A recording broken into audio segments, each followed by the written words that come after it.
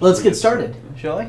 Um, so, like Ben said, uh, we are talking about video theory, but before we do that, I want to ask all of you what makes a video interesting to watch, in your opinion? And the reason I put down here, hint, what did you do today, is because when you're making a video, you don't want to just drone and tell every little detail, right? You, like if I asked, you know, Jeff, what did you do today? In a nutshell, what did you do? Um, I ran errands. There you go, right? You didn't have to explain the super little detail or tell me at 8 a.m. I was here, 9 a.m. I was here, 10 a.m. I was here. You just wrapped it all up in a nice little package. I ran errands, right? Storytelling. That's what this is all about, right? Humans, we're storytellers. We tend to do that. Video production, it's just another way to do that very thing.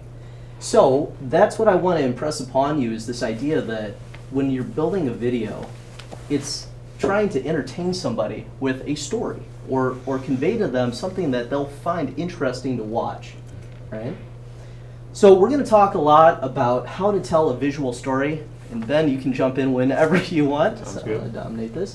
We're going to start off though by watching a, a video, ironically, on YouTube, um, because this guy really does get it, and this will introduce us to the ideas that we're going to keep expanding on tonight. So let me load this.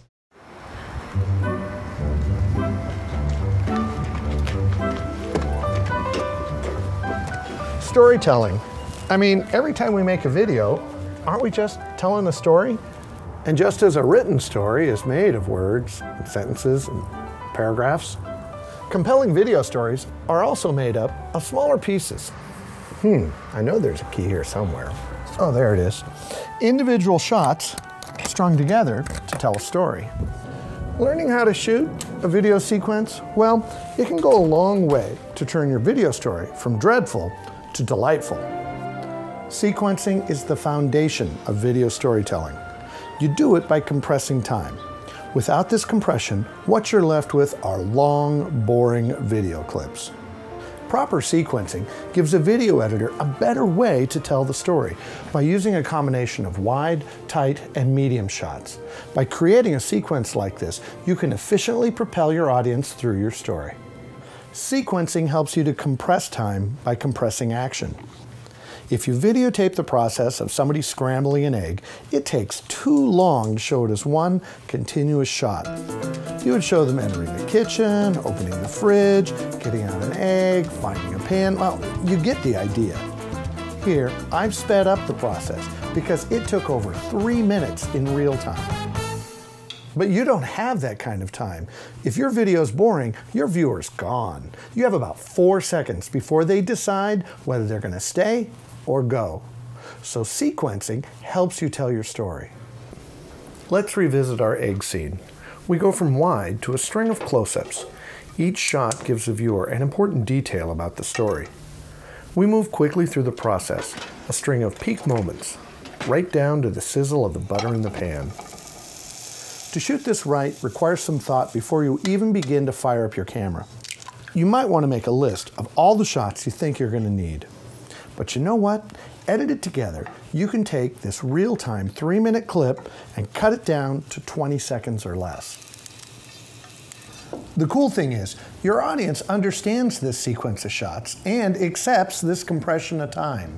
Why is that? Well, it's because we see it all the time in television and in movies. Mmm, good eggs. Shooting a sequence on the fly requires a little practice and a lot of anticipation. When shooting a sequence, think about how you're going to put your shot together. What's your establishing shot? What's your detail shot? What story are you trying to tell? This means asking yourself, where's the action headed? Where do I need to stand to be in the right spot?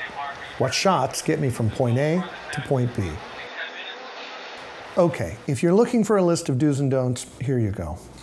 Shoot a wide variety of shots. If you have the time, shoot a wide, a medium, and a tight version of every shot. Tight shots can appear back to back, but adjacent wide shots, well, they're a jump cut, and they confuse the audience. Shoot an action and then the reaction, or the cause and the effect. You're showing the viewer what's important to your story, so make certain those points are clear. Shoot three tight or medium shots for every one wide shot. Frankly, there are very few trombonists who make excellent videographers. Using your zoom just makes you look like an amateur. Hold your shots at least six seconds. 10 is better. You can shorten it in editing. If you're following something that moves, let it motivate how you move the camera. If you're panning over to a building, follow a car in the foreground over to your destination. Sequencing will take your story to the next level. It does take a little practice, but with that practice, your audience will thank you. If nothing else, they're more likely to stick around to the end. Right. So yeah, he is that. I mean, in a nutshell, we can share this with you, but he summarizes pretty much all the ideas that you would need to at least take your video from that one long clip to making a story out of it. And that's kind of the goal, right? That's what sequencing is. And so that's what we're talking about tonight. So shooting and editing, they're the essential components of sequencing. Sequencing is the art of storytelling. It's the combination of shots, right? Like he mentioned, for every wide shot, you get three medium to close-up shots, right? So when you're editing, you can cut between them. Right? So what's a sequence? Well, right, we just told that. We're going to give you an example here, a baseball play. So some of you, I don't know, anybody a baseball fan in here, watch baseball or sports in general, right? So let's follow this thought process. We set up a wide shot, right, to establish where we're at, what hmm. field we're playing at. Now we cut to the pitcher. He's getting ready to be, you know, the hero. He's going to strike this guy out. He throws. That's the next shot. We see the ball coming from behind the batter. He's going to swing at it. Then what happens? We go back to a wide to see where the ball's going. And then, if you're paying really close attention, you get that last shot of whichever player is closest. The director in a booth somewhere will say, All right, we got that shot, we're going to you. And it cuts to that guy trying to catch the ball. So it's visual storytelling, right? This, this is a story that just visually makes sense. You wouldn't need announcers to tell you what happened, you can see it. Okay? So I want you to think about this, and this is more of a group activity. If we were covering a speaker's presentation, for instance, I know it's not the most exciting thing in the world, but how could you sequence this together? Does anybody have any ideas as far as how you would start off? What, what would your first shot be? Wide. Perfect, Frank. Wide. Why are we Why are we doing a wide shot? So To see get where the, to get the context. Exactly, right? To give us context. Establishing shot. Establishing, right? We now we know. Well, we're in this auditorium, so we better go wide. What's the next shot you'd probably want to do? Whatever it is, the event that's going on there. Sure. Yeah. Is You there know, any? There's got to be uh, someone. Well, if it's a game, not that game, but say it was something else with children playing. You know, you're going to see the children, so that would be the next step to show who's going to be in this. Is Right. That logical. Right, Lisa. So uh, the speaker, right? I would probably go wide shot to the speaker, and if they're talking about something like we're doing right now, somebody's talking. Maybe the camera's on me for a, a medium, right? But if it's children, it would be the Right. of children. Well, and if I and if, if we're doing this conversation back and forth, the beauty of it is that this camera would cut back to you, responding to what I'm saying, or giving your reactions, whether you're bored or you're like excited and interested, right?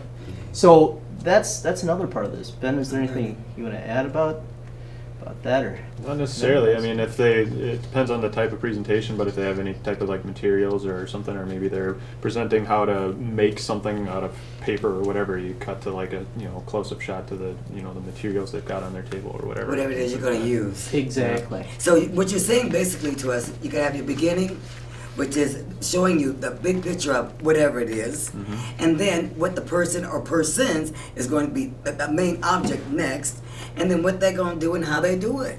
You got your beginning, your middle, and your end is what you're saying. Is that correct? In a sense. I In a sense, yeah. yeah. Yeah, you just want to have a variety of different different types of shots from medium, wide to close to be able to, um, you know, change story. up your shots, tell your story, and have a, you know, variety of different visuals. See, y'all got me learning something totally new. I don't do this. Eh, I usually just run my mouth. well, and a, and a lot of a lot of public access shows don't necessarily follow this because they're Yeah. talk shows. A lot of talk shows don't follow that. They might the the things they might cut away to is you know they go from a two shot to a single of whoever's talking, you know, back to a two shot or maybe to a single of the other person, or possibly lay over some B roll if you have some B roll of whatever you're talking about. Um, that's B roll technically, you know, even though it's shot outside of, the- of the facility, um, it's still you know it's considered a, a um, you know piece of material that that helps tell the story. Um, In the case of the speaker, if they also have a PowerPoint presentation, mm-hmm. Yeah. ask them to send it to, to you, so you have it digitally. yeah. And then you can use that as an asset, as your, to f- to fill for B-roll, to help make his points. when Can you y'all send me the comments so I know what talking about? Well, uh, the the last if you go to our YouTube channel, um, the last producers club that we did, um, I did I that. Like you, you can see the slides here, but whenever there was any um, slides that had like pictures or something like that, I would cut to a full screen of those slides. Okay. So And So I Jeff- can learn more about it. Jeff, you had something. Yeah, I, I, I- that's fine, what what's Alden said, very good comments. Um, One thing too, I think the more you do it, and we're talking about documentary kind of filmmaking, not a studio show, Right. is that uh, the best lead cut is the one that's the most compelling. And that may not be a wide shot. It might be a tight shot on a speaker, like yours truly there, and saying something very powerful. Yes. And um, you may want to start out that, and you're going to say, "Who's that?" And maybe you have a shot of someone in the audience, like a tears coming down their face Oh, right afterwards, Yes. and then you show the wide shot. So it all depends. Um, there's no written law that you start wide, go medium, and go tight. It's what is the strongest that's what I'm saying. storytelling element um, sequence you can use. Yeah. The subject matter. Yeah. Couldn't have put it better. And, and that's actually another part that I wasn't intending to touch on, but the attention getter, right? All of us have probably gone through the third, fourth grade where you had to write a paper and start with your lead, your body, your end, right? Beginning, middle, end. The attention getter is something like Jeff's talking about, where it is uh, an emotional reaction. Yes. It's something very strong. Like uh, I just did a piece on domestic abuse, and the opening uh, line I had was this woman talking or re- retelling a conversation she'd had with her daughter who didn't know who abused her. And it was, of course, her husband, Yes. right? And so I end with this woman asking her, uh, uh, telling, telling the audience that uh, her daughter had asked her, who was it? Daddy. You know, and that's powerful. That's Yes, that's a is. really strong pull because oh my gosh, who hurt you? Yeah. Dad. What? So that leads right into the whole story. So it sucks you in.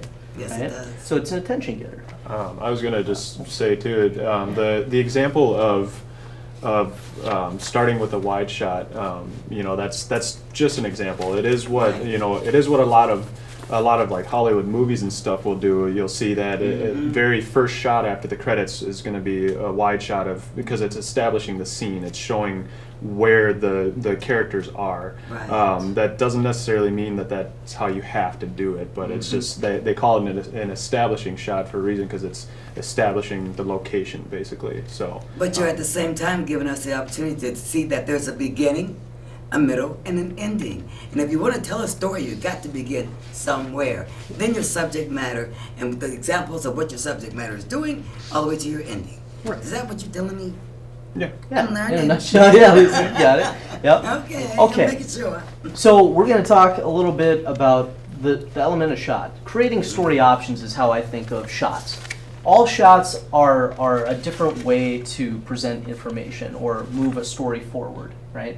So the reason uh, our friend here in the video was talking about taking, for every one wide shot, three other shots is because then it gives you options in the editing room to cut back and forth between things.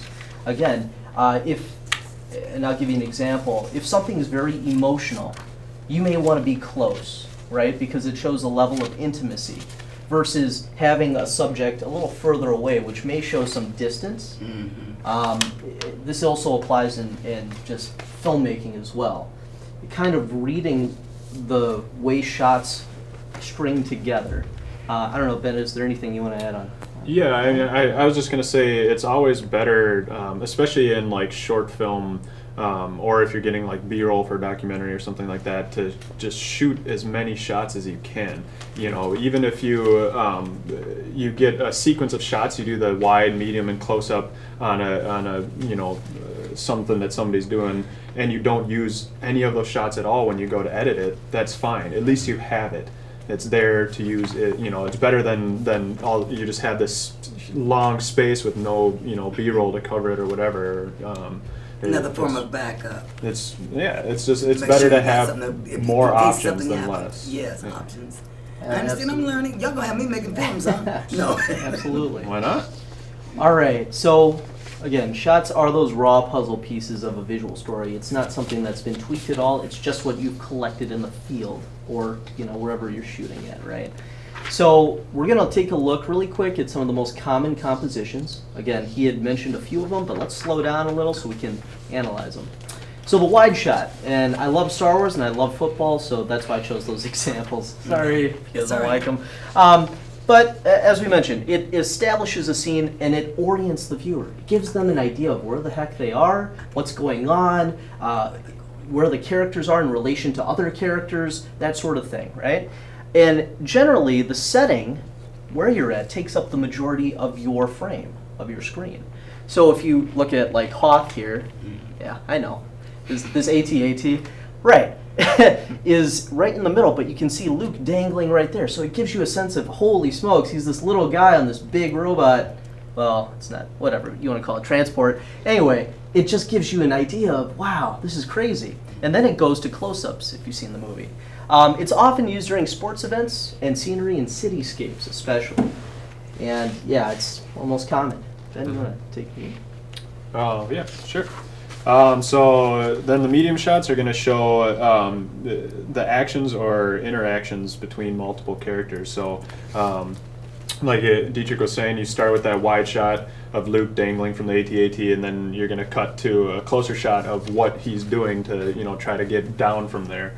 Um, and then um, the subject and setting take up equal areas of the frame. So um, you're not too tight yet, but you're not wide where your, your characters look small within the frame. Um, you can see, you know, you can still see where they are pretty well, and but you want to see the details of what exactly they're doing also. Um, and these are often used in interviews and action scenes. So like uh, Saving Private Ryan there, you got that nice, that, that probably started with a wide shot of all the boats coming up to the beach, and then they cut to this medium shot of all the guys in the boat there. Exactly. That's an awesome movie, by the way, for sequences, if you want to. Yes, absolutely. Ding ding. It's a good one. All right, so now we're on close-ups. So close-ups are the shot that you can almost overuse no matter what, I'd say, because it doesn't look awkward when you go from a close-up to a close-up to a close-up. Unlike the other shots. The wide shot, you almost never want to do that transition because, again, that the purpose of that shot is to establish a scene. So if you're jumping from establishing one scene to another without something in between there, it looks really awkward. And I should have probably put an example, so I apologize for that. That's all right. But the close up, it shows details, emotions, or specific actions. And a great example of this is actually with Dunkirk. If you guys haven't seen that movie, I highly recommend it. Um, the reason being is the facial expression of the actors tells you everything you need to know. Same with Jack Nicholson's character or Will Smith. I mean, you can kind of get a sense of where their mind is at, how they're feeling, um, what this, you know, what's going on in, in their being at that point. So the subject obviously takes up a majority of your composition, right, when you're framing it. And it's often used during emotions, uh, emotional scenes, right, like we talked about, or action reaction. That's a big one. So if you if you watch a sequence with uh, like The Shining, for instance, you'll get a close up of his face and then a close up of the wife screaming, right? Because she's like, ah, he's gonna kill me. Ah, I gotta go. So yeah. So from before, this is an example of a sequence. We talked a little bit, but let's give it terms. A wide shot, establishing the close up of the ball, and a medium shot of the guy actually throwing it. So you see the action, right? Sometimes you can get away with actions with close up shots, but it's trickier to keep the camera on, you know, whatever you're, you're looking at because you're so close. So, anyway. Um, these are some tips. So, shoot to edit. This is a term I've heard since I started doing video production. Essentially, what it means is while you're shooting your video, think about how you're going to edit it in post, right? When you get back to your computer or wherever, did you shoot it in a way that you could pull shots and mix them together and make a sequence? And what it does is it saves you from wasting your time um, on shots that you'll never use. But like Ben said, it depends on what type of shooting you're doing Yeah. How much time you have? and how much time you have. Really, it boils down to that. But if you keep that rule in mind, each shot you get will serve a purpose in your story. And so, like Ben was saying, if you if you prepare enough and you understand what your subject is and, and the message you're trying to create, you should be able to figure out what shots you'll need. Um, Lisa, I'll give you an example, like with your show. So if I'm if you're discussing uh, let's learn to get along with getting along with people. You'd probably want shots of people getting along right? So where do people get along often? I'm gonna throw it out there. Restaurants, restaurants. Uh, uh, faith places right? Church. church. Yeah church. You know you would go there maybe get b-roll of them and and talk about that event and the impact it has on people getting along you know that sort of thing. And you use that b-roll to cover what you're talking about but it would make your show a little more you know engaging a little more interesting Right. rather See, y'all teaching me. I don't know about no B and no rolls and the hoes either. Well, and- I, I knew nothing of this. Some of your shows that, that you've done, like the music ones, you know, Mm-hmm. we've done sequencing in those before. When you when you have musicians on, you get a close up of them playing the guitar, Right. and then you Yes. do a close up that's of them what you're singing. about. See, that's that's know it. sequencing. But some of your other guests, uh, um, like uh, uh, Anne, um, she's a writer. Right. If she ever does any book signing events, go there with a camera and get shots of her signing books for Oh. people, and then you can overlay that over the interview, and it just gives it, uh, you know, More a little bit more variety. interesting. yeah and, and with that note you could get video of her at her home actually writing, Writing. actually sitting at a computer y'all writing have me learn how to work these cameras now. This- again, this is the beauty of it. That's why you know certain videos are very engaging, is because if if you look at a, a lot of highly produced or you know professional level videos, they don't tend to stay on shots more than three to four seconds because you're always cutting around to show a different angle of something Right. or just just mix it up so the viewer gets uh, more of a taste for what the subject is. Variety. Right? I have a question. Yes, sir. Right. B-roll. Yes. It's a it's a term I'm not Ah. as familiar with as I'd like to be. That's what I'm saying. I'm Uh, too. Do you want to take this one or you? Go sure. for it. Yeah. sure. So there's so there's A roll and there's B roll. In the in the essence of, of an interview, for instance, um, the A roll is your interview. So um, your you know you've got your your different shots, your close-ups of your your subjects, your um, wide shots of of you know everybody who's up on, on stage or whatever, and then your B roll is basically a, accompanying footage that you can overlay over that interview. So let's say you know you're interviewing a firefighter, you might want to go out and get some shots of them actually at a fire, and then you can overlay that footage. Um, Add it to it. you know, add it uh, on top of the, the interview. So you don't cut out you know the audio. You keep the audio going of what they're saying, and you just you lay this, more. this video It's like, on a, top. like on, on the news. They're, they're Mm-hmm. talking and showing us, and then they put in stuff. They're- Okay, I'm catching Yeah. on more and more. Yeah. But as you're shooting, are you, assuming you're the director or the cinematographer, so you're collecting shots and you are mentally making notes that these are A-roll shots and B-roll shots? Not at the time. Not Or are you going necessarily out to shoot A, A-roll shots? You know, and I'm gonna, on this afternoon, I'm gonna go and get a bunch of B-roll shots. That's a that's a great question. But yeah, when you're talking about A roll, like I'll give you a for instance, if I were doing a show about Hmong Soccer League, right? Right. Your A roll would be an interview with your husband and other players. Oh, okay. Right? That's the Right. A roll, an interview.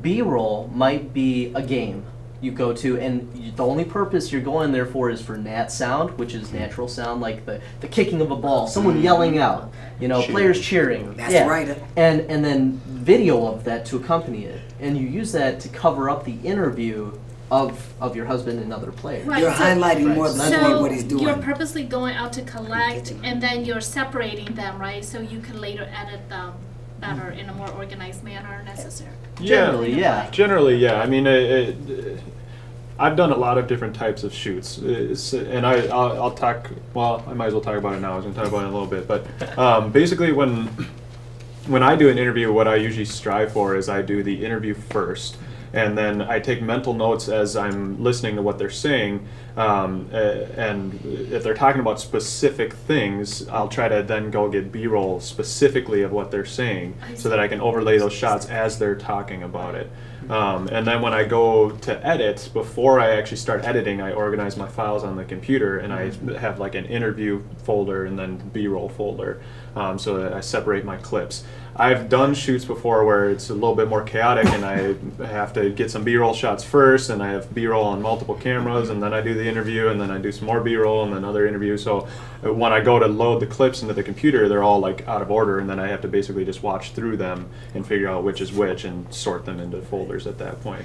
So And, and there's really, I mean, A roll and B roll, those are just, again, that was an easy way to define, you know, different ways to categorize shots. But when it comes down to it, and you're in the editing booth, something that was B roll could easily turn into A roll. I'll mm. give you, for instance, if somebody yells something really cool about your subject, like "way to go" and whatever your husband's name, you may want to open with that, you know, in the at the start, and that suddenly becomes your A roll sound or, or nat sound. What it's the primary noise you'll hear, right? It's not some music underlay or or anything in the background. It's what they hear right away, right? So that's a for instance of how you can switch between the two. But Cool. yeah. So let's jump back into shooting. We kind of Oh. jumped into editing there. Each new shot should involve a change in both image size and camera angle. If you can do that, it already makes your sequencing more interesting because what you'll see is from a wide shot, you may get a close up and a medium shot, but it's all from the same angle, right? But at least it's differing compositions, so you can mix in. If if you started an interview with just establishing what the subject is, but then suddenly your your person you're interviewing becomes more emotional and they tell a personal story that's really heartfelt, then you get a close up shot while they're doing that because it's more intimate and you know it makes people connect a little more. Um, this is an example of that. So take a, a look here. You get a wide shot of these two characters talking. You get your medium shot of the gentleman over here from a different angle. So look how it slides up. And then you get a close up of his face. So while you're sequencing this, you could mix and match these shots in any different way you want but maybe you start off with the cutaway. You know, the kid walks up, and then you go to a wide shot to show where they're standing, and then you jump to a close up of this guy talking, and then back to a cutaway, and then to a medium shot, or in any other order. It depends on what the flow of the, the content is. But that's that's why it, it would make it a lot more interesting. I don't know, Ben, do you want to? Yeah. Uh, all I was going to say is uh, the the order of the sequencing. Um, that's that's entirely up to your artistic vision. Um, so you know, no video. You could you could have the exact same footage. Like we, Dietrich and I could go out and shoot a variety of footage and give it to all of you and say, put together a story out of this. And every single video is going to be different mm. because that comes down to your own artistic vision. So there's no like hard and fast rule of like you need to, s- to start with a wide shot and then go to a medium shot and then a close up. I was really confused about that when I first started in this in college. I, I I thought when I was learning this, I thought that you had to start with a wide shot, then a medium, then a close up, and you keep sequencing in that order. And my videos were horrible, to be honest. So when it comes to the order of the shots, that's just that's completely up to how you want the video to flow, um, and how you want to tell that story.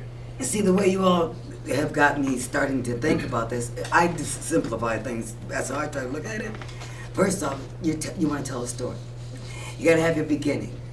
And then the stuff to support what your story is about behind it in different angles, from the small to the large. But you want things that where persons or one or two persons want to express themselves a close up. And if it's something where they're walking away, you show their distance as they're going. And then no matter what you're telling that story, you gotta have that ending. And that ending's got to be something to put on their minds where they don't forget that story. That's how I look at what you're saying. That's a that's a great way to think of it. Actually, is Oh. you leave you know like any other story, you want to leave uh, your viewer thinking about it, a call to action almost. It's like giving a good speech too. If you ever study speech writing, it's the same kind of idea, where you want to make uh, what you're talking about memorable. right? Yes, I Yeah, do. Sticking your head. Okay, so we're back to this wide shot, close up, medium shot. Notice how all of they've moved locations, right? They just didn't stay here and zoom in on his hand. They couldn't have gotten that angle, right? So what they what they have, and the reason you'll see at a baseball game, I'm not sure how many cameras they have, but usually one on every side of the field and at different elevations and angles, right? So they'll go from camera guy A to camera guy B to camera person C, right? And it switches it up.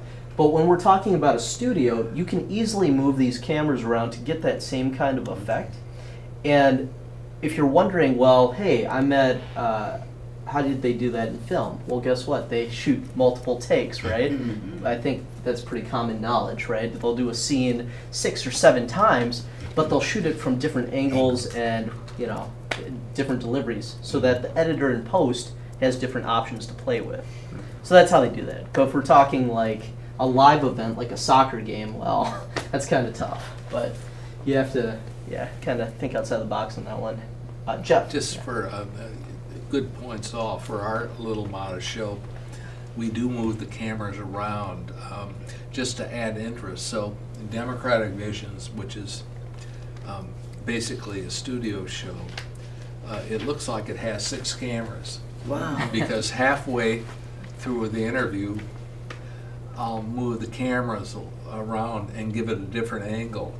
And, and it adds in visual interest. Now, people aren't thinking about this consciously when they're looking. If they, I don't know who watches our show. But anyway, it does kind of work and it helps. And sometimes what I, what we do is if our guest is fumbling or our host rambles on like he tends to do sometimes, um, I redo a I I politely ask, hey, could you say that a little bit better? And I'll change the cameras around a little bit. And I'm recording additional stuff. They're talking about the same uh, subject, but I have more to edit from here, you know. And that, that really helps. And, and one of the, well, that's, I just wanted to add that because we found it very helpful for our show. Uh, I'll just make a note on that.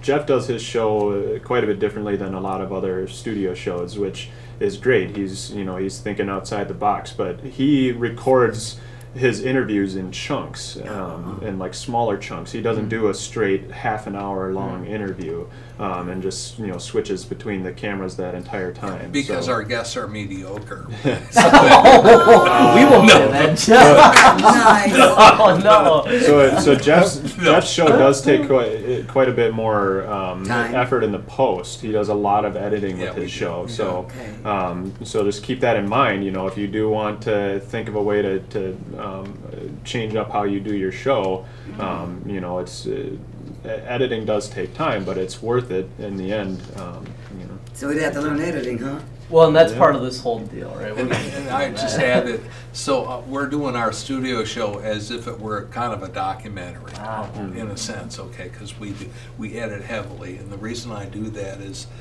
uh, because I I want our guests to come off as bright and comfortable and good-looking Amen. as they would be uh, sitting in our kitchen talking about the same stuff. Your show is very reminiscent of a lot of PBS shows. I would say. You know, I, I have a history with some of those.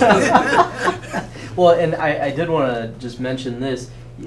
Really, it comes down to you have two options. You can either buy more cameras, or you can shoot multiple takes, right? Yeah. So if if for instance, um, I was talking with Patty earlier about her show and doing sh- uh, field shoots versus our studio shoots here, right? You have three nice cameras here, and it's pretty simple to do a two-person interview, right? But in the field, it becomes a little more tricky because you don't have this established, and maybe you only get two cameras, right? So one idea I suggested to her that maybe some of you could benefit from is you can buy a GoPro and use it as your wide shot, right? And then use your two other cameras that have zoom capabilities to get your close-ups, get your medium shots. And that way you aren't wasting it on a wide shot.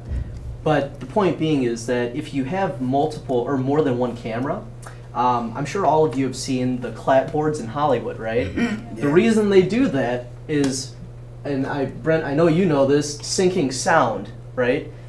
That's the idea. In uh, Premiere Pro, you can do something called multi-sync editing. And what it is is you're putting multiple video clips on the different layers. And all you're doing, it makes it so easy. You're syncing it all by that clap at the very start. You leave it rolling, and then all you do is cut back and forth in post, right? You chop out here, chop out there, and it looks seamless because you don't, you know, you- you're not spending so much time going back and forth and trying to make it all perfect. It's already synced. So that's an advanced technique, but anyway, we don't have to jump too far into that. Uh, but yeah, so let's jump right into the sequencing. So this is part of the editing process. We've talked about this close-up, medium, wide shot. Like Ben said, there's a variety of ways you could set this up depending on your subject and depending on how you want to build drama or you know interest in, in what you're doing. Maybe you start off with that close-up and everybody recognizes that baseball and he's rolling that baseball in his fingers and then you cut to instead of this guy you cut to the batter's face and he's sweating you know? He's trying to get ready for that ball to come. Then you cut back to the medium shot slow motion. This guy's whipping it. Cut back to the batter right? He's yeah i'm gonna get you. And then you know so you're you're telling a story though right, Right. it's very it, it, yeah that's storytelling right there. Ben you wanna anything on that note You know Okay. more about this concept. Okay, all right. So this is this is one that I learned in, in video production class, and I I think it works uh, well. So what they're referring to a clean entrance, clean exit. You're looking at a person turning a dial, right? So the exit is clean. The hand is there. They turn the dial. They pull back out.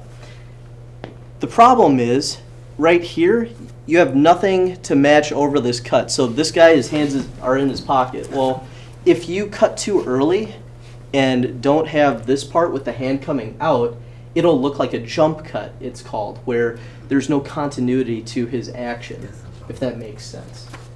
Right? So otherwise, you get this thing where it's the hand, and then suddenly his hands are in his pocket. And you're like, how, how did, what, what happened to his hand? How did he get there so fast? So that's the idea. Now with this, this idea is a, a little bit smoother. So you go from a person going into their home. Mm-hmm. Do you have to get shots of them going up the stairs, going down a hallway, doing all that? Or can you just directly go to the door of the room you want them in and they'll open the door? And to a viewer, it makes sense, right? Because you saw them go into their house, but you don't need all the little details. It goes back to that tell me a story, right? Jeff didn't have to tell me at 8 a.m. he did this, 9 a.m. he did this. He said, I did errands. It's the same concept. Any questions on that? Problem with that is the sequence doesn't match. The door handle's on the wrong side on two and three and four. Oh, you got him. And you don't Oh, have, and you don't have windows on both sides of the door that you'd have. Ah, you're right. Sorry. Picky, Well, picky, Picky, picky. picky. That's good though. Continuity. Very And I- Yeah. Well, and I think Yeah, I think that's right. I think with this Yeah, I think with this check specific example, this is supposed to be like a bedroom, and Yes. that's so you're n- so you realize uh, it's pretty obvious that it's like a bedroom he's walking into, not like the living room or the front Right. entrance. No, I no. think I think that's the general Make concept. yourself feel better. I didn't I didn't make this. I'm just That's right. I'm just trying to defend it. I, guess. I don't know why, but I, And that's I- a jump cut because you're going from uh, outdoor to an in, inter, uh, room that he didn't pass through. That's right. That's right. Yeah. Yeah. Yeah. So I'm sorry. All right. yeah. So we're gonna that. So that's that concept of of making sure, um, and I'll just leave it on this for a second. Making sure that you've finished your shot, right? Giving it that ten seconds. When when our friend was referring to why do I shoot between six to ten seconds? Because what you're you're banking on is the first two seconds may be shaky because you're still trying to get the shot right. If you're touching your camera. The last two seconds, you may be adjusting to hit the record button so it stops recording. So it might be a little shaky then. So that way you're giving yourself a buffer of that middle chunk being the part you want in post production. That's that's one reason. I'm And and also by giving that too, it gives you options as far as if you want to dissolve between scenes. Yes. Because that'll give you a chance to, as soon as something goes and then dissolve, if you want a smooth transition to the next one, it's the overlap that you need so the, uh, you don't see the one camera pull away, you know, while you're in the middle of the dissolve or something like that. Perfect. All right, so we're gonna watch. They used to call it heads and tails. Oh yeah. I still do. we're gonna watch a trailer for Star Wars Rogue One, and we're gonna talk about this concept of cutting on the action. I'm pretty sure you guys can guess what it means, but let's just think about that this for a second.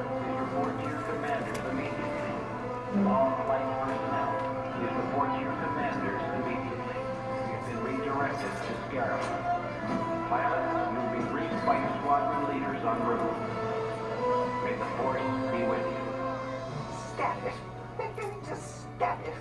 Why does nobody ever tell me anything, Otto?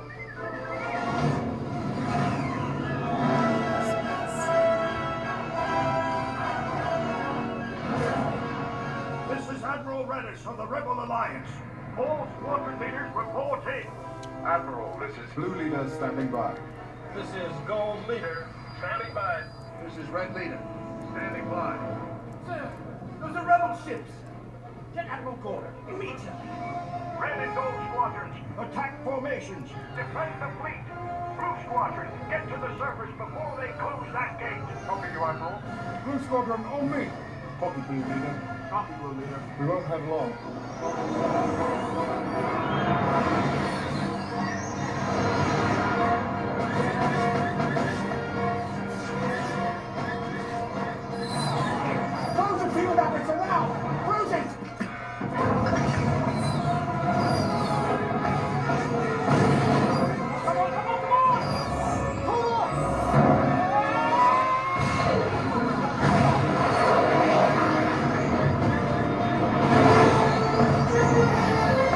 Okay, we're gonna pause right there. What was the action that they cut on? What did you notice was in that? The action is when that X-wing hits the shield, right? Mm-hmm. What does it cut to? Let's watch that. Let's play that back really quick here. Should just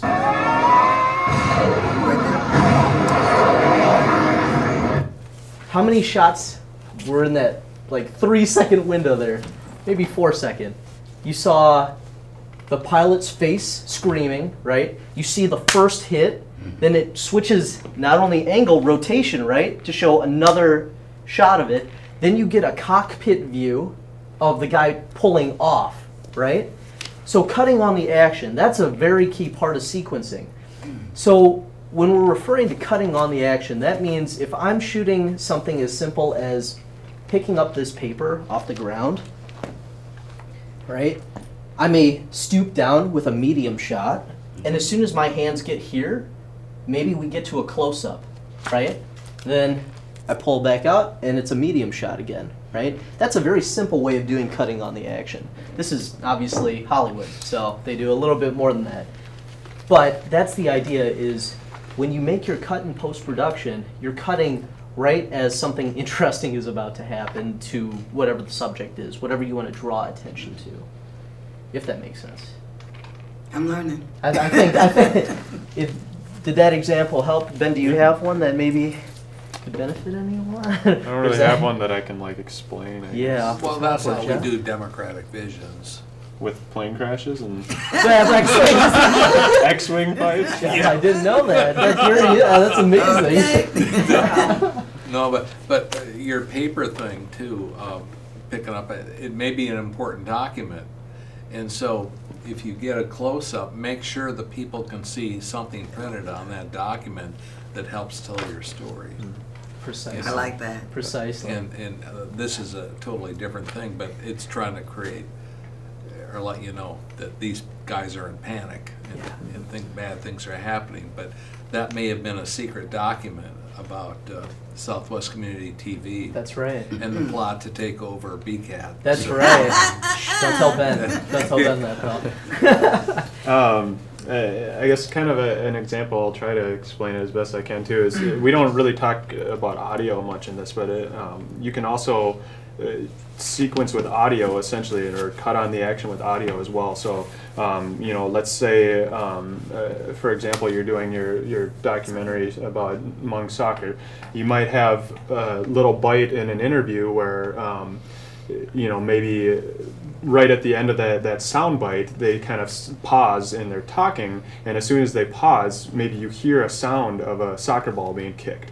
And then all of a sudden, the second time you hear it kicked, boom, it cuts to the, a shot of them, whoever it is, kicking the ball, you know, back and forth. So that's another way that you can use audio to help visually tell your story, as you, you cut on the action when you hear that that you know that sound.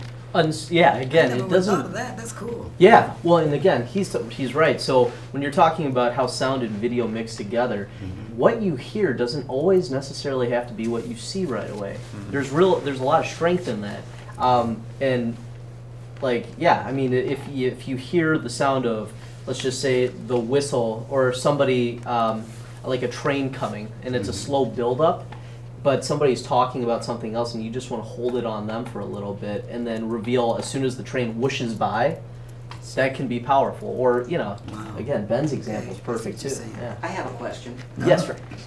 Are there any basic guidelines, rules for how to use Zoom in any of these sequence cuts, especially in like a B-roll piece, okay? Because as you were discussing B-roll earlier, I was seeing in my mind's eye many shots where the B-roll is a zoomed, in, you know, zooming in or out image of a building or a grounds. Did, does one wait for the zoom to end before they transition out of it? I- Is, is there any rules like that in dealing with that? Zoom should last a period of time? Again, I don't know if there's any hard and fast rule about that. Um, for the most part, uh, I I don't think people usually show the zoom a lot of the time, um, unless uh, you specifically are using the zoom to help you know tell your story in a specific way. So um, uh, I can't think specifically of, of any movies that do this, but uh, um, you know there there might be a shot where um, suddenly somebody's expression goes like or something like that and it does this what's called a rocket zoom in on them and then the music's like you know or whatever. Yeah.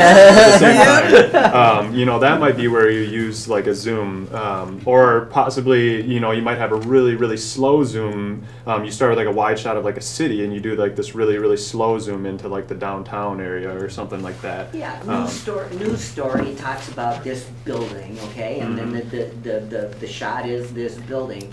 Is there like, zooms can probably get boring, I mean, a shot sequence is a pretty fast thing in, but not in a documentary setting probably, or an interview, there are no fast shots, are there? You know, I, I uh, think it's a, part, if I may interrupt. Yeah. Yeah. Ja- it's the call of the editor. If it feels bad, don't do it. yeah And if you have a real long slow zoom, and I've done a lot of PBS stuff where long zooms are interminable, and our camera guys would occasionally say, no, I want to get a different speed. Even then they were too slow, we would dissolve out of them rather than break up the mood. And then it felt better. But it's going to be the call in the edit suite using your zooms and your pans and your swings. Mm-hmm. And if it's a rock and roller type thing, to have fun with it. You know, if it feels bad in a serious documentary, it might feel really great in a rock video or a polka video. You know, Well, and we used to use Zooms all the time. As far as I'm concerned, live, shooting Zooms live is a lost art. There's very few cameramen that know what they're doing, yeah. that uh, understand it. We, uh, nowadays, we do it, like you said, mechanically in, in the post suite with the uh, high HD cameras, you can do it. Uh, we used to use Zooms to move out of the se- sequence. When I used to shoot live music videos, I used to, if I wanted to transition off of a shot, I say, okay, it said, I tell my cameraman to zoom to black. So he'd zoom over the shoulder of the artist Yeah. into the black thing, and then I, at the same time, I'd be dissolving off another camera into another shot. And, and then there's uh, the, the offset shots, if you have multiple cameras. So it's just kind of depends on what you want to do. yeah Uh, it's now, con- you can control a lot better in the, in the post now than you used to. Yeah, I I should I should reiterate that the zooms really aren't used too much in like like short films or feature films a whole lot, but in live stuff, I agree. It's it is kind of a lost art, and I used to um, do some work for the station out in Stillwater, Valley Access Channels, and a lot of the stuff that they do are events, especially concerts. And when I would direct a concert, I would do that as much as I could. I would say, okay, you know, camera. A lot of times it was like camera two, the wide shot in the middle. I'd say, give me a nice slow zoom, and and then they would start zooming, and I would dissolve to them, and then I would dissolve back to like a close up of a you know a certain person or whatever playing an instrument before they were done with their zoom.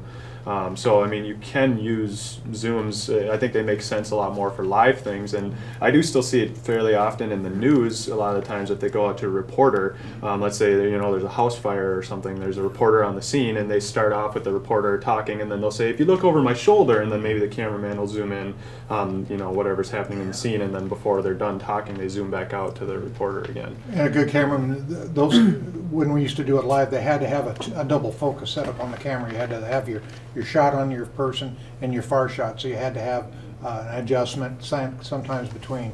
Uh, The, the best part to using zooms, as far as my advice, is if you have a shot that you have to be on a long time, give it a little bit of movement, either push in or push out just a little bit, just to give it something to make it more interesting to keep up on it. You know, just don't stay on that static shot, like they said, over three to four seconds without even just a little movement. Well, like in, the- you were saying the story about a building downtown or uh, type thing, you might start on your establishing shot and then just slowly zoom in to either the sign or, or even just a tighter shot of the building, so. What I, what I like are the uh, Toho films from Japan in the 50s and 60s with Godzilla. Lots of zoom shots. Yes. Lots. And Starsky and Hutch. Yeah. Yeah. I mean, you know. Talk about Godzilla. That's all action, reaction, quick zoom in. Oh, you know, like zooming in, zooming out. You know, And they're Uh, even better in poorly dubbed English. Oh, it's yeah, it's fantastic. Well, so my comment on the Zoom thing is, Zooms work really well, and again, you have to feel the energy of your video type, right? I think that's the message that I'd, I'd probably get across is if it's a high action rock concert, zoom all you want. Just go crazy with the zoom because it's fun, it's high energy, you're supposed to be moving around. Zooms can also create chaos in general. If you're moving your camera all over and you're trying to get that like realistic, like, oh, you're in the moment kind of thing, that's when it, it can work really well. Uh, on the other side, with slow zooms, um, like Brent was saying, from a wide shot, it works really well just to create a little bit of motion. But what I'm gonna suggest is if you're doing something very dramatic, and you know, I mentioned uh, doing an interview with somebody, and when you notice that they start to tear up, or they start to choke up, or get emotional, that's when you get the slow zoom. You just go really slow, but you're what you're doing is you're building that intimacy for when they deliver their line that really hits you, right? And you can feel that because if you're doing it right, you'll feel it as you get to that point where they say what needs to be said and a tear comes out. You're Yeah. right up tight, you know. oh. Um, so that's that's my advice on zooming at least is it, use it, but don't go too crazy if it doesn't match the feel of what you're trying to accomplish. If your video is like about the peace of nature and suddenly you're like zooming in and out and you have super calm music, that would throw me off as a viewer, Yeah. right? So I again, it just it depends. You can feel for it though, definitely. Well, Oh, One, one comment Sure. on Zooms too. If we're all using a lot of friends who aren't professionals, who use cameras and all that, and they're really helpful. And I always have to tell them, no, you stay on the wide angle because they're going to want to zoom in on stuff. Oh, she can look cute. Oh, isn't she cute? You know, and the camera's dancing all over the place, and you can't use any of it. And that happened with a, a, a dear friend of mine who went over to Kenya to visit relatives from Somalia, and you know, uh, we went over this stuff. But when they got over there, oh, there's you know, and it was zoom, zoom, zoom. Couldn't use any of it. What I ended up doing was freeze framing a lot of things, so at least I had good stills to use. Well, and, and that's it. So uh, another way uh, you can use zooms uh, is with still photos. So if you have a, a professional photographer, I do this with weddings a lot. Is I'll get video and I'll stay wide or medium, right? And I'll let the photographer who's taking the stills do a lot more of the close-up shooting, and I'll combine the video with the photos and add slow zooms in post uh, to the faces of the bride or the mom and you know the groom, all that sort of stuff. Um, and that's again depending on what the feeling you're trying to get across is, uh, it can be really effective. The combination of that media. Um, so yeah, that anyway, my two cents on that. Okay, So this is another sequence. It's called the close-up collage.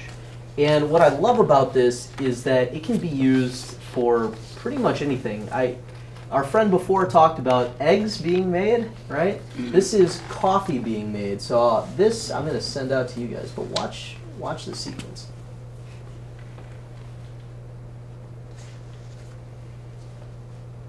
Ooh.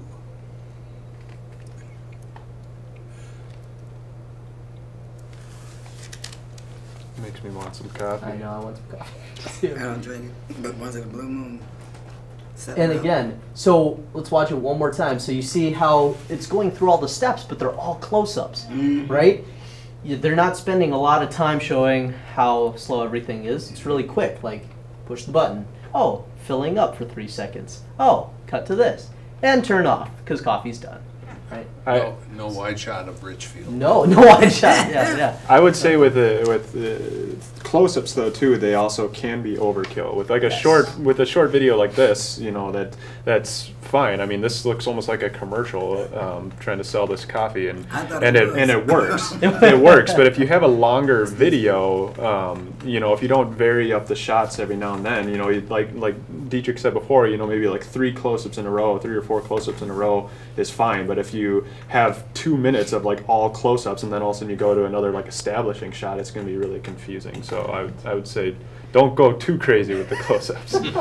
Well, and so one example of this is when a character, especially in comedies, they do something like, "Hey, we got to get from point A to point B," right? They'll switch to a close-up of car opening, door shutting, right? Zzz, open door, you know, get out the car, and you're there, right? And it's it can all be done in a really close-up fashion.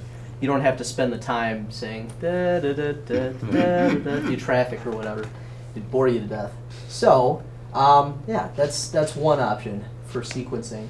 Okay, so the reveal. This is another thing that I find it's it's useful for revealing something that's behind somebody. I think the show Survivor does it often, where it'll start on Jeff Probst, who's the host, right? And uh, I think that's his name. Anyway, it's it's like really tight, and he'll say, "On this season of blah blah blah blah blah, 40 people battle it out for you know the ultimate prize." Zoom out, and it reveals all the contestants behind him on this island, wherever they are. Some fabulous location that I want to go to. Um, so let's check it out. Oh.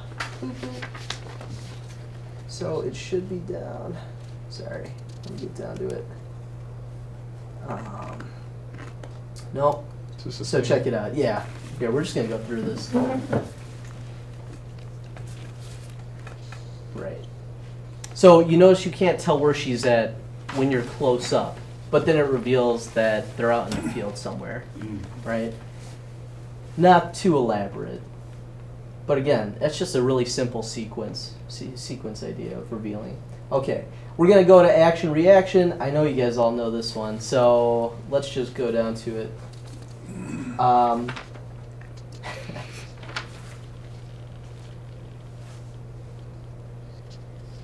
so obviously establishes with a medium shot.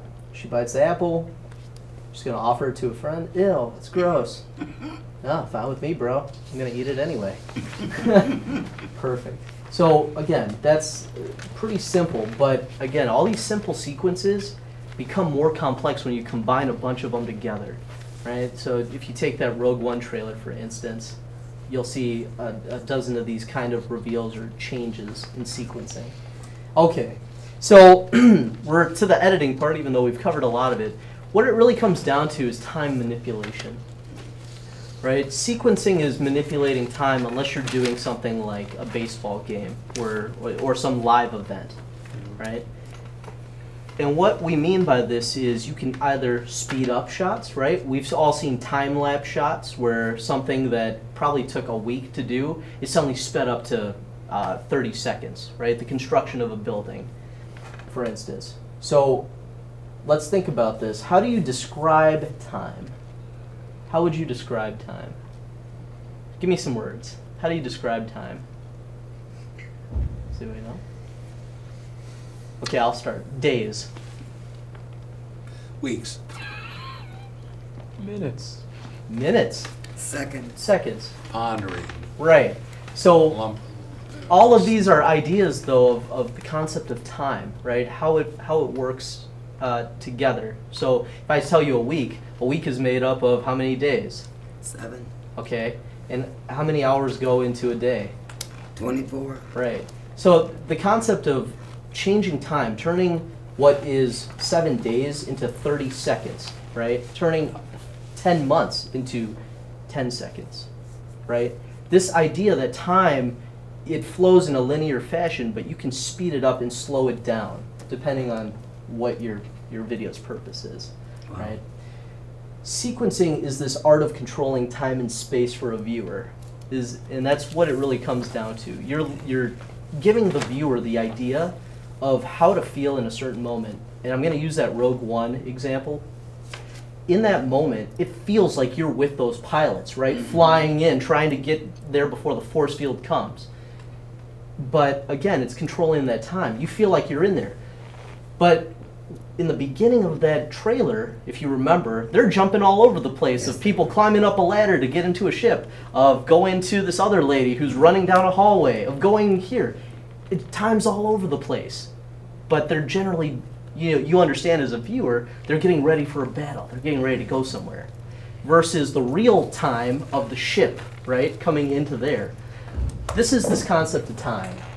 So, a real time example baseball, right? Uh, we already talked this one to death, but as you go through here, it's that wide shot to throwing it.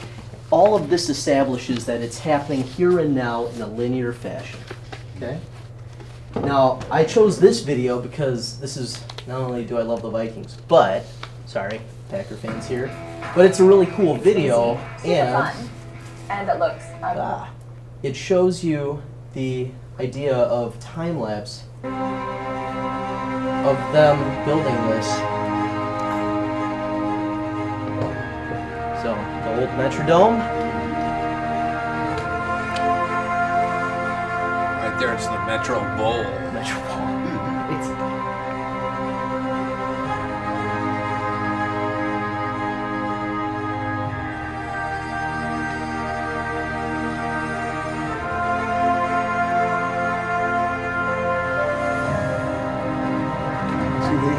that and then did a zoom on it afterward. Hmm. To give it some movement.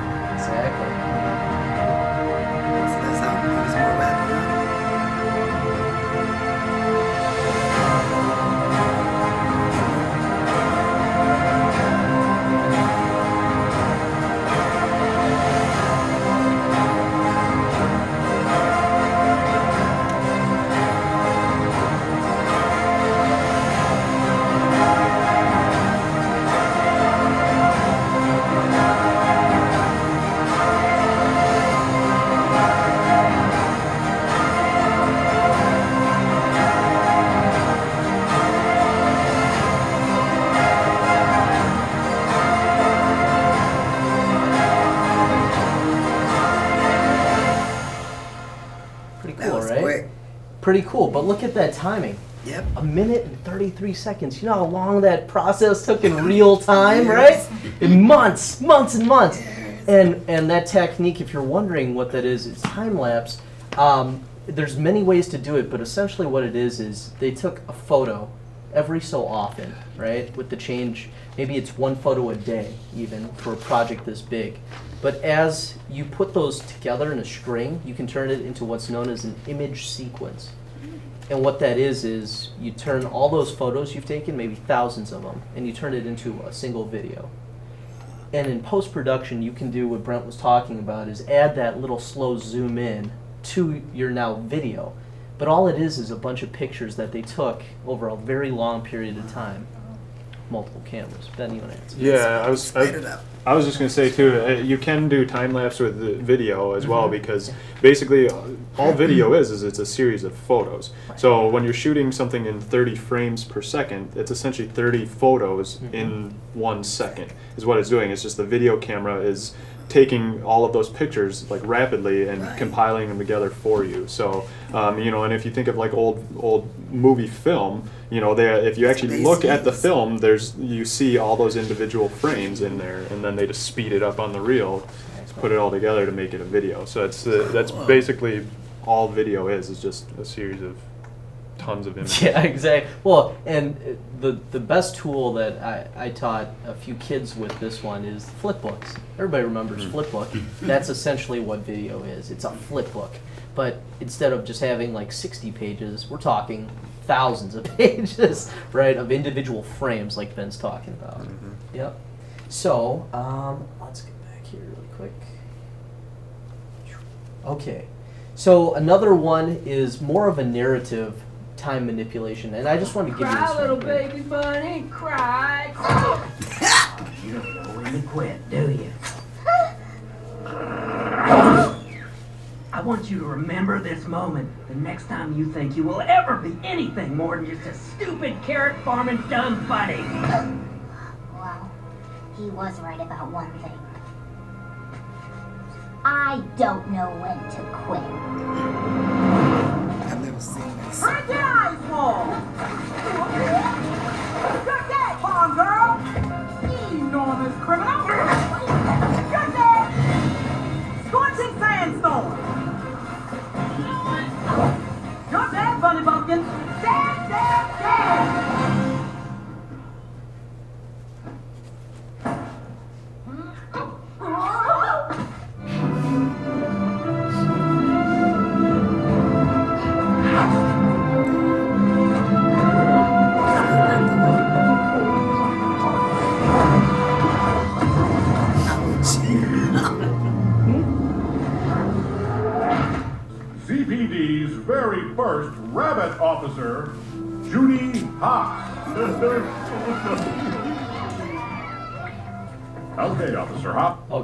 So the time manipulation in this example is the training montage, right?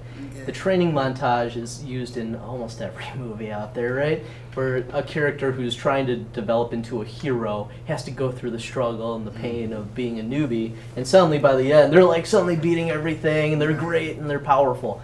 That is an example of time manipulation, though. You don't have to see them go through every challenge, but you get the concept that, oh yeah, they weren't so cool at first, but suddenly they're really awesome now after, you know, sticking with it, or whatever moral message you want to throw in there.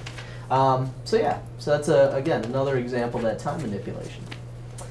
All right, so I guess we're at this point where I don't have anything else to Yeah. throw out there. Um, but do you have any questions as far as? I have yeah, some questions. that. So, okay, so, okay, so I'm very new to all this producing all that. So, what do you do with permission or cons- consent forms? You know, especially if, I'm going to a soccer game, Mm-hmm. I want to get like close-ups of. Do I have to like start thinking about things like that Well, um, in public? It's yeah. It. I mean, it doesn't hurt. Um, uh, when you're in a, a, a public place like that, and there's a lot of people there, and there's you know more than likely you're going to be getting a ton of people on on camera. You can't go up to every single person and say, "Hey, sign this for me. Hey, sign this for me. Hey, sign this for me." So that's why like I put up signs here saying that they were going to be recording this event. Um, that essentially should cover you legally if anybody has an issue because uh, if you put up signs and people read it and they don't want to be on camera, they can move so that they're not going to be on camera. Um, if they don't read the signs, they just ignore them and they end up getting on camera and they get upset about it. You can say, "Well, I, you know, I put up signs." But in a public space, you should be allowed to record, um, you know, record video of people. Um, now with like the interviews, um, it's not a bad idea to have a, a, a consent form. Um, uh, it's called a model release form um, of each person that you interview or someone that's the main focus of that specific shot. Um, just uh, again, in case you know someone you know comes back later on and says like after you're done with your video and it's aired on the channel and everything, they say, "Oh, I didn't want to be on TV" or something like that. You can say, "Well, you know, you signed the form." Um, so The nice thing about the consent release forms also is uh, if you do them, what, what we used to do when we uh, used to do field uh, commercials and things like that, is we would take a clipboard and have all these consent and release forms on them. And as the person signed it, I would turn it over with a magic marker, put a number on it, have them hold up the number on a different shot so you know who that person is later. In case, you- and, and if you have the right consent release form, you can also have their name and their phone number. So you could send them a note saying, hey, I'm gonna run this video on this, on uh, Southwest uh, uh, you know, coming up now, and if you'd like to see it, this is when it'll be on. That's a good point. Also, too, you get the correct spelling of their Yep. name. Yes. And if you want to use it for a super or anything Yeah, like that, so. the, uh, also, uh, you know, we always, I've done, like you've done quite a bit of this stuff, and, and sometimes you do forget the forms, and so, just on the video camera, I should, please say your name and you understand you're gonna be on TV, on this show. Yeah, and you could do that too, yeah. Yeah. So- Ju- But rarely do you run into any problems at all. And No, if 'cause I someone doesn't wanna be on camera, fine. Yeah. You know? You might want to get permission from the- the name of the, uh, in the case of the, uh, uh, the soccer, the soccer league. Organizer. Just get, just say, you know, is it okay, I'm gonna come, I'm gonna come and do this. Yeah. And get that in either, either an email or something, so you have documentation later that you got permission. Yeah. Or, That's- or And- something like That's that. exactly And what I'm- specifically say, you know, reach out to the coach or whoever and specifically say, can you ask your players if this is okay? Right. Um, so that they, uh, you know, you know that they actually went and talked to all of their players and, and the players are all okay with being on camera. Right. And like most organiza- well, larger organizations like school districts, for instance, they have a policy on video or photography of students, for instance. I'm sure the league that you know the Hmong League of Soccer has something, or if not, something to consider then, right? Yeah. So then, Yeah, schools are really sensitive these Oh, days. yeah, Really, absolutely. very, very sensitive. Um, Which is that- understandable. Good reason, Especially if you're an old guy like me, uh, that looks like he knows how he's handling the camera, but they don't check out all the hundreds of cell phone cameras Oh, Well, at the same time. you that's know? what makes it so complex. Is Yeah. when, uh, and we this is a totally separate topic for a different time, but. But- yeah, if, if something were to be caught on camera, you know, a crime or something, Yeah. um, it's the same kind of thing. Well, where's the public release, and how do I, you know, do this? A lot of events already have on the back of the tickets releases Mhm. for, you know, if they're gonna film something, uh, concerts especially and that, Yes. if you show up on something like that. Uh, not all high school uh, tickets and things like that have that, but sometimes they might, so it's not unusual to see it. Yeah. Yeah. Yeah. Yeah, um, and like when I used to do stuff out in Stillwater, and they covered a lot of local concerts. A lot of the time, they were, um, you know, younger children, um, like grade school children, and um, uh, basically we just put up a sign outside of the front door that said, "There's, you know, this concert is going to be recorded," and we never ran into any issues. In fact, most most parents are excited that there's a camera crew there, and they immediately come up to us and say, "Hey, how can I get a copy of that?" Um, type of thing. But um, you just, you know, you just never know. It doesn't hurt to have. Legally under eighteen in this state, Yeah. They're n- it doesn't, they can't sign anything Mm. Right. and, and be binding. If, if their parents object, you're in trouble. Yeah. Yeah. So it's better to talk to the parents and those in charge. Well, uh, a lot of, uh, good, good consent and release forms have the parent signature page at the bottom, so. And then one other thing to consider, I can say from photography, is that um, it depends whether it's commercial or non-commercial use. So if you're putting it on public access TV, it's non-commercial use. So you don't really need consent forms necessarily. But if you're going to be putting it in an advertisement, so for example, I, I took a picture of this model when I was first learning photography, had him sign a, a release. A few years later, I paid money to put that in a, a model, in a uh, advertisement for photographers that went out to advertising agencies. And I get a call from this model's agent saying, look, you can't put that picture in there, this model's well-known now, and, and you can't use that image. I said, well, I've got a model release. I said, well, send it to me. So I did, and they said, oh, well, okay, he shouldn't have signed it, but he did, so. So you're okay. But there you go. You were protected, though, Yep. right? So you Yeah. couldn't get sued. You couldn't. Yeah. right. they Basically, the, the bottom line is is if you're not sure about it, it's better to just do it and just cut. You know, make sure Yeah. that you're covered. So. Exactly. Yeah. Safety precaution, and it protects you from any lawsuit sort of thing. Or, Right, yeah. because the only way that, without me researching more, the only way that I've been collecting footages is to not zoom in on people's faces. You know, like I'll do Oh, like. interesting. I mean, that's not a good way, but I, I mean, I'm, I'm not afraid of getting sued or anything like that. But it's just like, you know, you just kind of like want to do it right. Yeah. Well, and, and I think all these are great Right. examples of what you can do. You can talk with the organization. You can Yeah. put up signs. You can do all three of these things. You know, send a talk with the coach and have them talk with the players and parents in the stands and say, "Hey, we're recording this. Um, if you end up in a video, we want to make sure you're okay with it, and if you're not, let Keep us your, know. keep your expletives down. Yes. yeah, that's the, yeah, that's exactly right. And it, kind of on the note of like not zooming in, um, eh, the the people who are on the camera they have to be recognizable. So you can go out and you can shoot the back of people's heads all Yeah. day long, and they can't do anything about it because you can't specifically pick out that that's that person by the back of their head. It could, uh, you know, potentially be anybody. So um, It's usually a side shot or a straight on. Mhm. Uh, Yes. And they say if, if the mother can recognize them, you know, uh, in a, in a total random video. But the parents are gonna have to prove that some damage was Yeah. caused by your video. Yeah. And that ain't gonna happen. Right, I mean, who's gonna You know, With but you don't soccer. wanna deal with a nuisance suit anyway, you Yeah. know, cause it wastes your Yeah. time And money. and money. And money. defending it's yourself. better to just cover your cover your bases if you're not. Okay, so I have another different question. So if I do the public access to, how does it work with like YouTubing? I mean, it's like Oh. I own it or what happened? you know what I mean? If, if, let's say I go shoot a whole bunch of stuff over a year and then I cut it into like, I don't know, a fifteen minute documentary. But then I wanna put it on YouTube and then I wanna, how does that all work? Well, I'm, I'm pretty strict when it comes to this, and I'm, I'm very adamant about this because it, it drives me nuts. Uh, if you use any public access equipment, you need to broadcast it on our stations. Uh-huh. I mean, that's just hands down the rule. If you use our stuff, because again, it's paid for with public money, and it'd be unfair, for instance, if you used the public equipment but only put it on YouTube, right, oh, and Right, right. didn't contribute to the station. That Is that editing on. plus camera? Or Yeah, any- that's, I mean, any equipment, regardless. So that's kind of the way I view it, and so that, I mean, it's written right in the policy. Yeah. Um, so as far as like the, the ownership of the content, you own you own Yes. the content. It's your video once it's shot.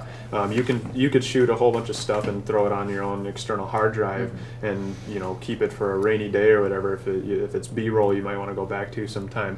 But you just at some point uh, um, you have to have content you know that you've produced that will go on the channel. Um, so you know we're, we're a little bit lenient about it when you're first starting out. You usually get like a few months to kind of get you know get established and and get something put together. But then you know by that point you need to have something ready to. to But it could be a channel. But- different version. yeah. Yeah, I So- mean, you. Yeah, I mean, uh, it's uh, like I said, we're we're a little bit lenient on it. It's that's that's just the main thing is it has to result in some type of programming for our channel at some point. It can go on YouTube. Um, you know, uh, here we we're, we're okay with you putting it on YouTube essentially right away um, before it airs on the channel. I came from another station where um, it had to air on the channel first.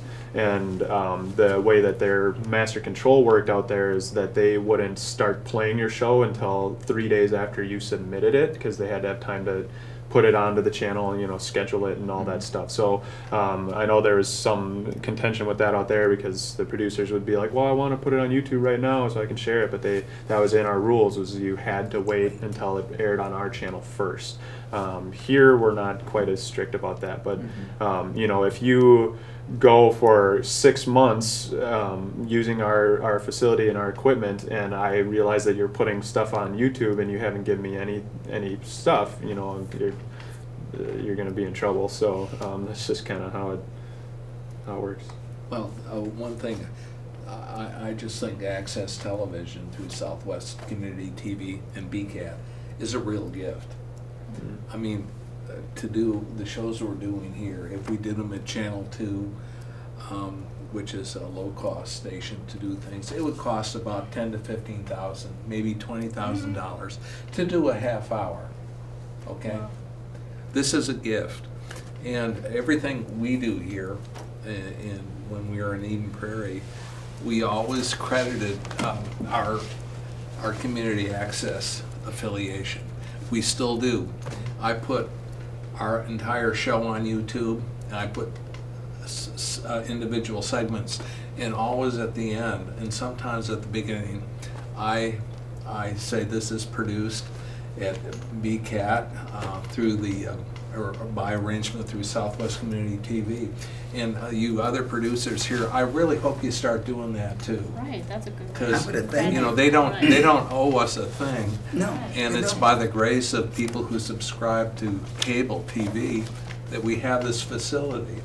And it's extremely important that more people learn about uh, this stuff and where it's coming from. So, so that's just kind of what, what we do, and I have a standard little thing. And when we, we try to get news coverage in our community newspapers for every new show we do. And every press release we put out also says the th- same thing, and so it gets repeated. Now, who knows how many people read this stuff? I don't know, but it's It's something. there. It's something, you know. And um, and these guys aren't requiring us to do that, but uh, you know, it is a gift. I mean, you know how expensive TV is. Oh, yeah.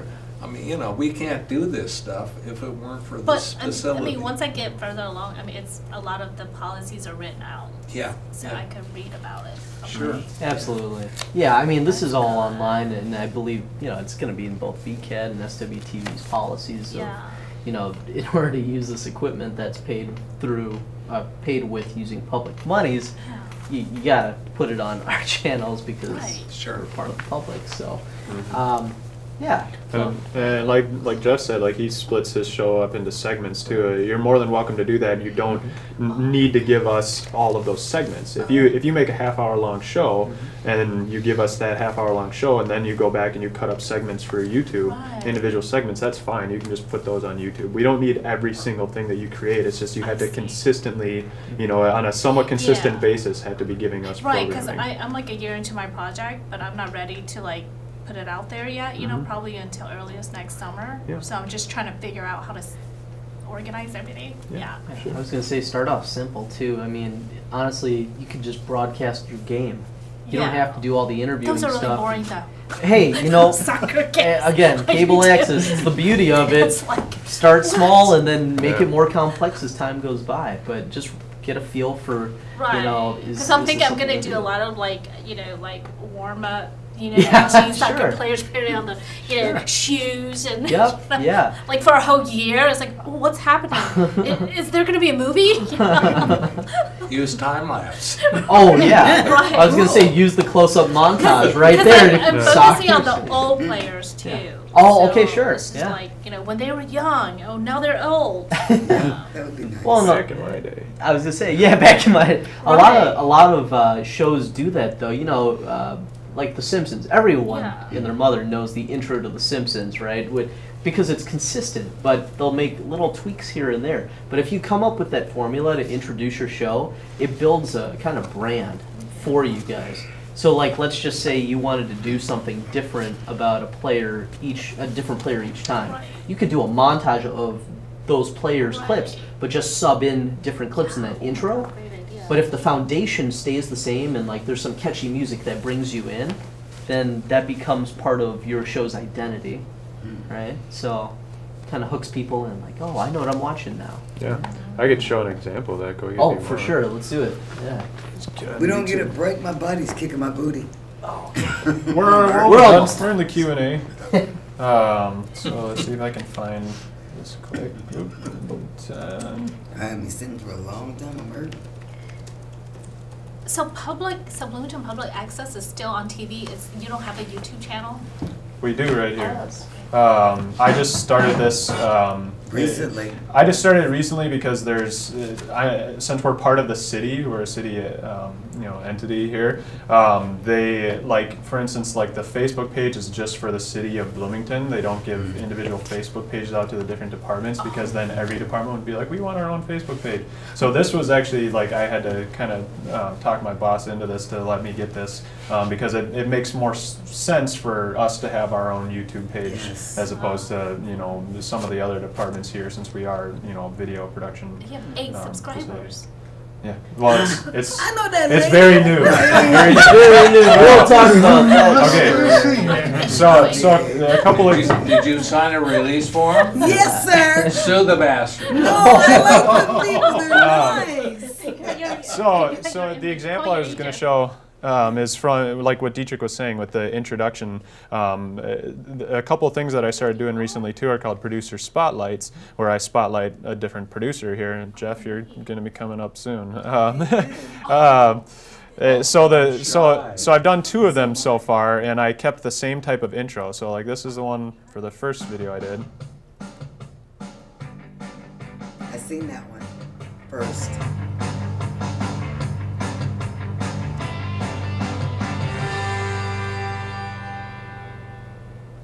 So that's the first one I did. And then with Lisa's,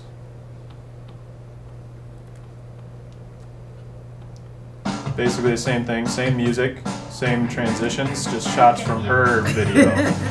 Um, so this is this is like what Dietrich was saying, like you just supplement different clips, but it's otherwise the same. Lisa has same better little fake intro. foliage in the background. Yeah.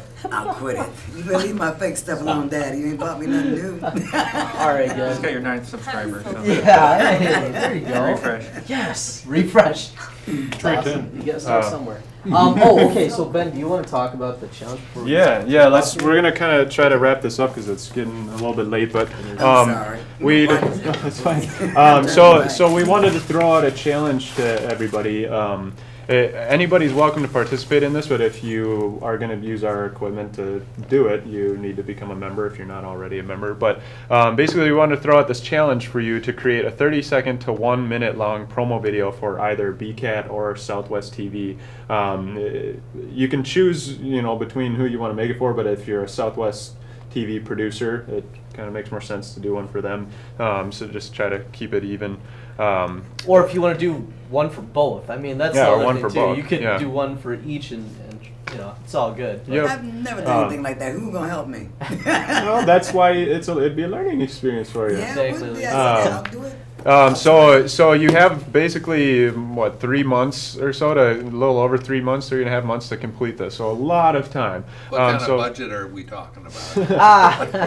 um, the budget of uh, a membership to BCAT. um, I'm not really so, so um, complete and submit these to me to BCAT um, by November 31st, and then our last producers club of the year, um, we're gonna choose winners and screen them. Well, we'll screen all of them, but then we'll choose winners. Um, so it's basically a week week before our last producers club. So if you want to partake in that challenge, please do. Um, be, I Yeah. think it'd be a lot of fun. It's a fun challenge just to see if you can come up with something clever. I mean, you've all seen commercials probably, you know, most of your lives, so you kind of know what that feeling is like. What would get somebody interested in doing community access TV? Think about it. Sure. Back to sales. Yeah, exactly. um, okay. Uh, thank you. Yeah, and of course, guys, thank you for coming. Really. Yes, Like, really. that's Thank how we do it. for So. having us Yep. here.